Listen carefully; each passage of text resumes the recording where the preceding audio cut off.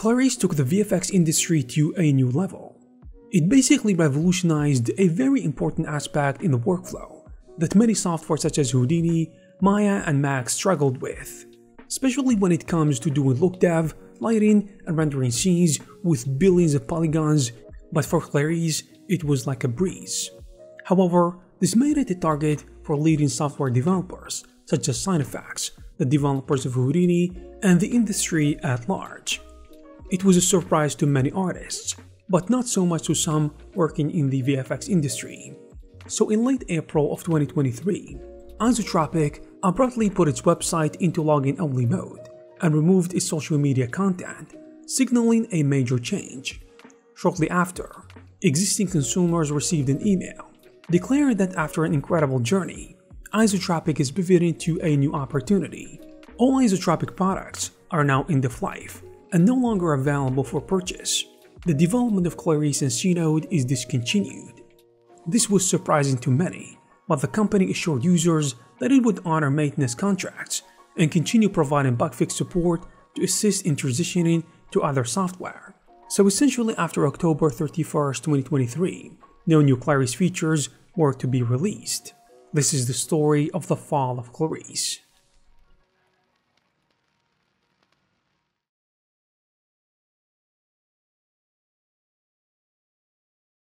I think one of the primary factors in Clarisse's decline was the rapidly evolving landscape of VFX and 3D software.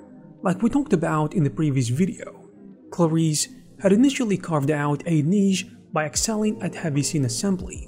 It could attractively handle billions of polygons on CPU without choking, something that set it apart in the 2010s. However, by the early 2020s, computing tools and industry standards had caught up or surpassed Clarisse's advantages. In particular, SideFX Houdini, with its USD-based Solaris layout and lighting pipeline, which began offering similar capabilities for massive scene handling and native USD workflow integration. One VFX artist noted that Clarisse's only serious advantage, which is the early adoption of USD and the ability to load billions of polygons, is now gone with Solaris and Houdini, which can do as much or more. Houdini's Karma XPU, which is the modern CPU and GPU hybrid, and its support for multiple render engines via Hydra further eroded Clarisse's edge. At the same time, the Foundry's Katana lighting software was widely adopted in studios, in part because it allowed integration of preferred renderers like Arnold, RenderMan, V-Ray, and so on. Clarisse, by contrast, was all in one system tied to its own rendering engine. Hooking up your render engine to your lighting tool approach limited studios' flexibility and was never gonna fly in other studios, as it limited their options, one industry professional observed. In other words, studios didn't want to be locked into Clarisse's renderer if they already had pipelines built around other render engines. Real-time lighting was a cool idea in Clarisse, but limiting it to Clarisse was a deal breaker. That's why Katana took off, one artist explained. In addition to all of this, there was another problem for Clarisse. The rise of real-time engines like Unreal Engine for certain visualization tasks, which also set new expectations for interactivity and ease of setup. By comparison, some users found Clarisse's scene setup clunky and convoluted to a certain extent, relative to modern tools. This is the sad reality for Clarisse users. By 2020 to 2023, the market had evolved to the extent that Clarisse's unique selling points were no longer unique. So computing software matched its capabilities while offering broader functionality in addition to better integration. Competing renderers and in-house engines advanced rapidly, leaving Clarisse perceived as lagging. As one observer put it, if you are unable to update your render engine, others bypass you.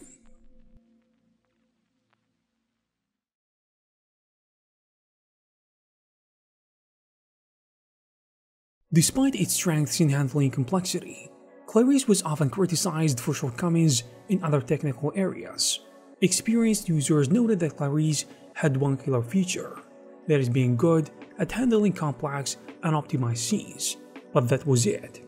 Other aspects of the software were less mature. Clarisse always lacked polish and modern technology level in pretty much all the aspects usability, rendering quality, render performance, and so on. wrote VFX artist Ludwig Kutny.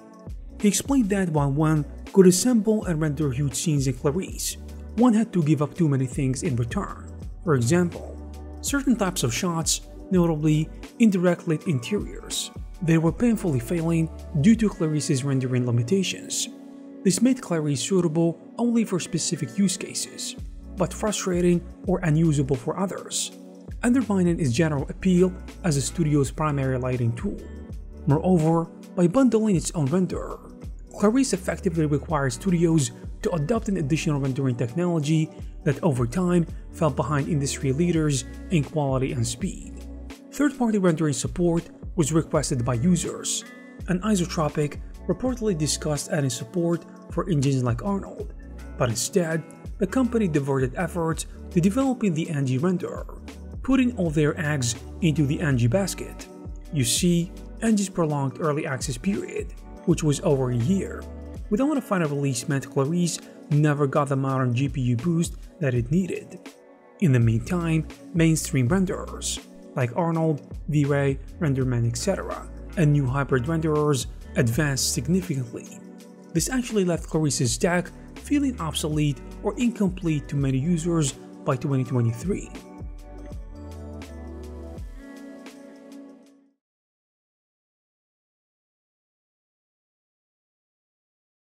The irony was not lost on Isotropix, the developers of Clarisse. Clarisse's discontinuation was precipitated by the loss of its largest industry adopter, Double Negative, a leading VFX studio that had been a flagship user of Clarisse, even helping propel its early success. You see, DNEG adopted Clarisse for look development, lighting, and rendering around 2014, using it on major films from Godzilla to Foundation. This gave Clarisse credibility and a steady revenue source through enterprise licenses. However, in recent years, DNEG began transitioning away from the software, reportedly moving to Houdini and Solaris and other tools. And recently, DNEG apparently decided to stop using Clarisse altogether. And here is the problem. DNEG was Clarice's major lighthouse account. Its departure, no doubt, strongly influenced Isotropix's decision to halt development. In other words, losing the single largest client was a huge blow. One Redditor commented, It must have been a huge confidence blow to the development team to lose such a big studio. Beyond DNEG, the reach of Clarisse in the broader industry remained limited. Aside from a new top VFX houses like ILM and DNEG, relatively few studios had fully adopted the software. Most other studios continued to rely on established combination of Houdini, Maya and Max, in addition to Katana, rather than introducing Clarisse into their pipeline. This meant a small user base and by extension, limited license sales. Some in the community speculated that Clarisse's development was no longer justifiable, meaning financially. I've heard only a couple of big studios were using Clarisse. If they really stopped development, I guess it doesn't make commercial sense to continue, one user wrote when the news broke, and I am compelled to agree with that. Isotropix's pricing may have further narrowed this appeal, at roughly $1,000 per license annually for professional users. The software was actually an extra expense in an industry increasingly conscious of cost. As one VFX artist observed, ever since Solaris, Clarisse made less and less sense, especially with their pricing. Nobody is gonna pay for that extra price of software that they don't actually need. Studios with tight margins were reluctant to invest in a specialized tool if its functionality could be covered by software they already owned, which makes sense. All these factors point to one thing market demand for Clarisse simply stagnated, with new sales halting, especially after the company confirmed that it is gonna stop selling licenses. So the financial incentive to continue heavy development simply wasn't there, especially after losing their key clients. And there you have it guys. If you like this video please give it a thumbs up. You can also check some of our previous videos. Thank you very much for watching and I will see you in the next one.